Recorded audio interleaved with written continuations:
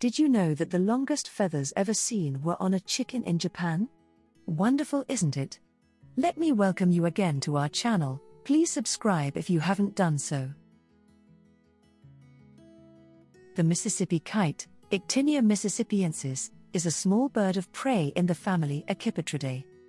Mississippi kites have narrow, pointed wings and are graceful in flight, often appearing to float in the air.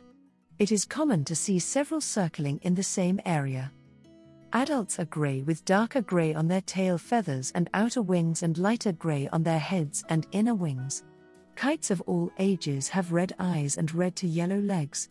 Males and females look alike, but the males are slightly paler on the head and neck. Young kites have banded tails and streaked bodies. Let us take a break. Please get back soon. Thank you.